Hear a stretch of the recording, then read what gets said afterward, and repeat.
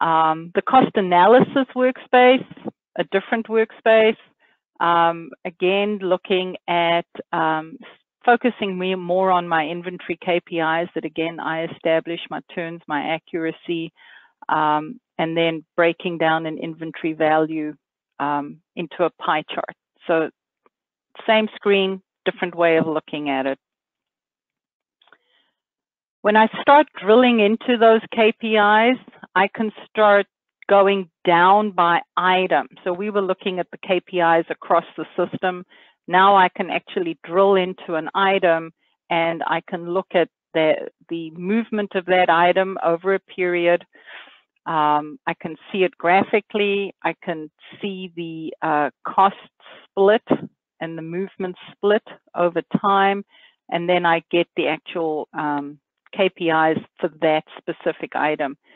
So these are quick drill downs, a quick way of looking at my items, looking at my inventory, um, looking at my costing splits and uh, what I'm buying, what I'm making. In this case, I don't buy any of this. The procured is all zero. I make all of it. Um, but these are if you're into an outsourcing model where you may be manufacturing some and buying some, this gives you a real nice graphic and real nice check on, you know, how is that, how is that working for you? I set up things called cost groups and I can have a zillion million of them. Here's this cost group type that I said, I really hate the way they label these but you know, labor, material, overhead. I like fixed. I like variable. Um, some people put surcharges, rebates, freight. Uh, you can have a zillion million of these cost groups, and uh, this screen becomes uh, quite the challenge as you start digging into um, different cost groups for an item. This is just one item and then I'm going to be comparing um, one item in one cost version to another one. So um, this could be current cost and this could be next season's cost, something like that.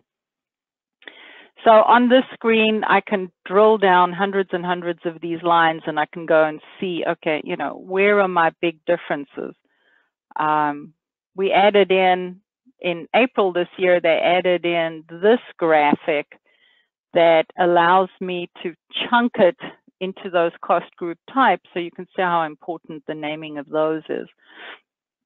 So if I look at this, my direct manufacturing between, let's call this my current cost and next year's cost, that hasn't changed much. My uh, indirects, you know, it's gone down a little bit, but here's the big difference. It's $100 per item difference. And uh, so now I know where the big cost changes in that item are coming from. And so now I can go and drill into these direct materials, these M1, M2, M3s, and go and have a look at, you know, how did how did we manage to lob off almost, you know, just over a third of the cost of an item. Um, so these sorts of tools, these little bits of uh, graphic are coming into the system more and more. There's some more of them scheduled for October um, to really try and get us out of spreadsheets with, you know, 20,000 lines on them.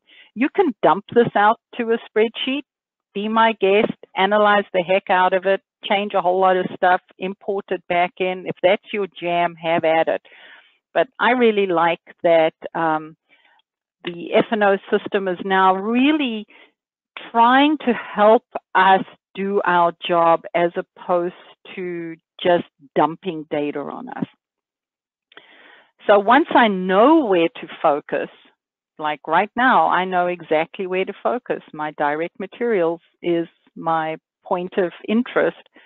Um, it's a lot easier for me to take um, a, a, uh, an item that may have, you know, thousands of cost elements on it and just focus in on a few of them, but those are the ones that are giving me the biggest delta or the biggest variance. So allowing me to spend my time in the places where I'm going to make the most difference or effect the most change.